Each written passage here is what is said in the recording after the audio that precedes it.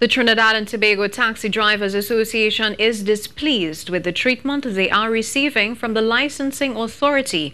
At their protest today outside the Ministry of Works, President of the association, Adrian Acosta, said the number of passengers they were authorized to carry by law has been and is being lessened daily. One of the issues is that uh, they are now downsizing our vehicles when we go to license office from seven to six right? They are saying it's a weight issue.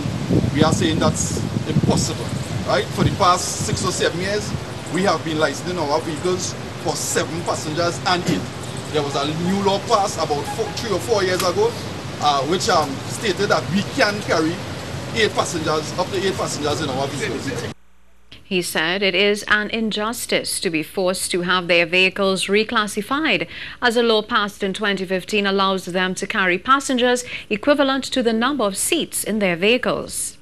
Right? We are also calling on the Minister of Works to head into the license office and to make checks and balances because there are a lot of bobol and corruption that are going on in the license office. We are also calling on the police commissioner, Mr. Gary Griffith, the head in the license office send his people, if is a fraud squad or whatever, send it in the license office and do some checks and balances inside it because we are saying there are a lot of bobol and corruption that are going inside Mr. Acosta said the association has in its possession certified copies for the same vehicle carrying different seat allowances.